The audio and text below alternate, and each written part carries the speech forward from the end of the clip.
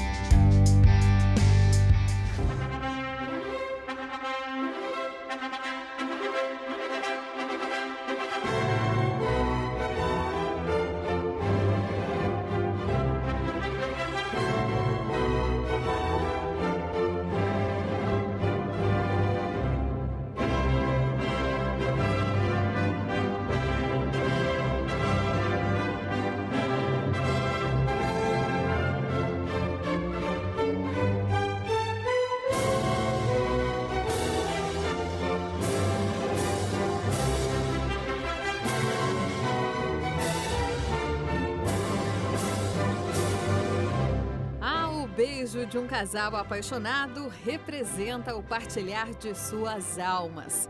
E para aqueles que de fato encontraram sua alma gêmea, o amor eterno vira uma conquista diária. Cícera e Francisco, 50 anos de casamento. A primeira coisa que eu gostei dela foi do cabelo, né? o cabelo me chamou a atenção. Então, a gente é bem companheiro, a gente está aqui sempre junto. A gente sai junto, volta junto e dorme junto, levanta junto e faz tudo que tem que fazer aqui junto. Então, Flores Bela e José, 51 anos de união. O que, que te chamou a atenção quando você viu a Dona Flor pela primeira vez? Não sei, é alguma coisa que bateu, né? Essa linda. Desde solteiro ele tinha uma mecha, sabe, branca. Gente, que gato é. Era o charme. Gente, naquele tempo não falava nesse, nesse tipo de jeito. Que gato é aquele? A gente só falava, nossa, né? Será que vai?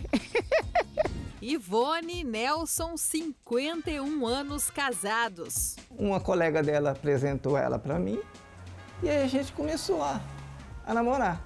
Isso foi em 1968. Então, quando ela me apresentou para ele, aí a gente já, os olhares já se cruzaram. Aí foi um amor para sempre. José e Júlia, 60 anos de casamento. Na época que nós se conhecemos, eu era uma pessoa diferente do que sou agora, né? Quer dizer que eu era rezador de terço. Você tem respeito com a pessoa, então eu acho que vai para frente. Agora, se você não tiver respeito, não vai. Você tem que ter respeito. Antônia e Dionísio, 70 anos de união. Ah, nós se conhecemos assim, indo no terço, na missa, porque no sítio não tinha divertimento, né? Quando tinha um bailinho, só que era um daqui e outro lá, né? Eu chamei ela para fugir, ela topou. Aí nós, Vamos fugi- fugir. aí nós fugimos. E aí, como é que foi? Ela desceu, ela, desceu, ela tinha um compadre meu que assim, ele, ele tinha um táxi, então eu chamei ele para levar, né? Os nossos casais do Amar Faz Bem, Bodas de Ouro, estão na contramão da maioria das uniões atuais. Primeiro, porque o número de casamentos vem caindo ano após ano no Brasil. Em 2019, foram pouco mais de um milhão. Em 2020, esse número caiu para 757 mil. E em 2021, até outubro, 683 mil. É claro que tem muita influência da pandemia nesses dados. Mas uma coisa é certa: atingir ou ultrapassar a marca das bodas de ouro vai ser cada vez mais difícil, mas não impossível.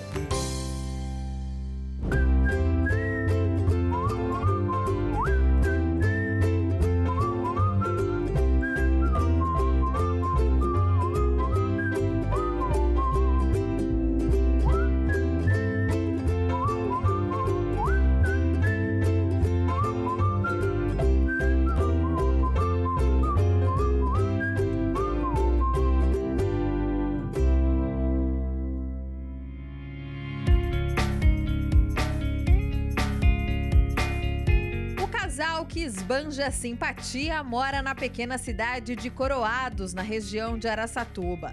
Dona Flor e seu José estão juntos há 51 anos e lembram com uma riqueza de detalhes como o amor entre eles floresceu rapidamente. Foi em Araçatuba, em 65, na praça, né? Tinha o fute lá. Então foi assim. A gente deu uma olhada, ficou, né? Três anos. Três anos. Vamos contar das olhadas primeiro. Começamos a conversar, sabe? E aí iniciamos o namoro. Eu já trabalhava na estrada de ferro, quer dizer, eu estava já mais ou menos encaminhado, né? Aí, Trabalhava de doméstica. lembro como se fosse hoje, quando eu fui casar, o engenheiro da estrada de ferro perguntou para mim, apelido meu é Jatubá, né? Falou, Jatubá, quando você casar, você vai morar onde? Falei, doutor, desde que a mulher esteja comigo, pode mandar para onde quiser ir. Confidentes, cheios de amor um pelo outro e apaixonados pela simplicidade, a família é a base desse casal. Os dois criaram três filhos e também são avós. Um orgulho que não cabe no peito. Muito orgulho, né, Bem? Bastante. É, porque, né, graças a Deus, meus meninos, eles, hum, eles sempre caminharam no caminho do bem. As mais de cinco décadas de convivência deixaram seu José e Dona Flor conectados de um jeito único. Hoje, os dois compartilham tudo e estão prontos para enfrentar qualquer desafio. Vamos lá então começar o nosso quiz com o casal Dona Flor e seu José. Vamos começar a primeira pergunta. Preparados? Quem é mais pão duro?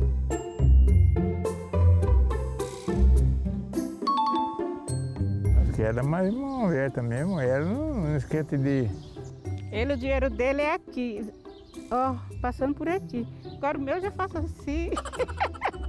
Seguro. É, eu só eu sei da hora certa de gastar ele. Meu pagamento é para é pra pagar luz, água, telefone e, e comprar a semente para comer. Você vai lá em casa, acho que ninguém aqui dentro de Coroado tem sapato igual a eles. Não que a gente seja centopeia. Tem, tem sapato, tem sapato que ele não usou ainda, você acha?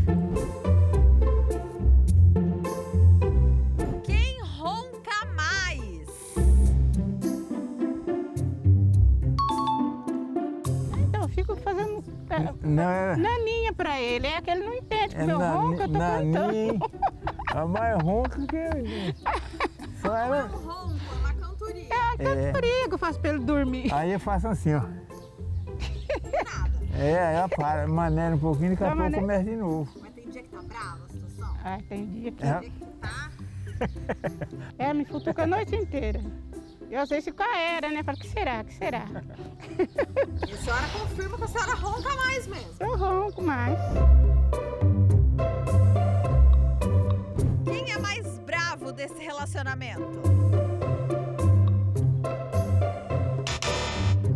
Se falar comigo uma coisa que eu não gosto, eu saio, eu sou Tá, se feroz. falar uma coisa que não é, ele roda a, a, a saia mesmo. É roda baiana. Aí sai de baixo. Sai de baixo. Que aí ele tá certo, ele tá certo, ele tá certo. Pode estar errado. Mas tá certo. É, eu abandono, sabe? Quem reclama mais de dores? Eu tô sentado aqui, tá doendo? É. Ah, hoje ele queixou de dor desde cedo. Até a gente falou assim, que depois que acabasse aqui, a gente ia levar ele no posto para ele dar um remédio para dor. Porque Ah, não, esse serviço de ferro aí não é mole, não. E era cabeça de trio, era. E como ele eu era colocava novo, o carroteiro assim, que o tio tava no chão. nada, né? E E pegava aqui assim. Só que, que tinha mais, só que tinha mais seis, a assim, dor né? pega. Aí eu pegava daqui e gritava, né? Vai daqui, vai. Aí todo mundo pegava.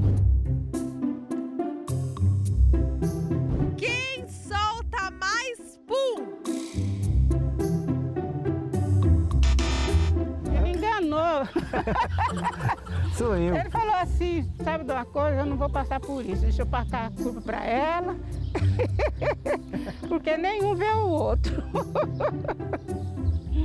Ah, Se for dormindo, né, um- uma festa de São João. Então, Fim do quiz para este casal. O resultado não foi 100%, mas uma coisa é certa. Durante a entrevista, eles também disseram uma palavra fundamental para que um casamento seja feliz e longevo.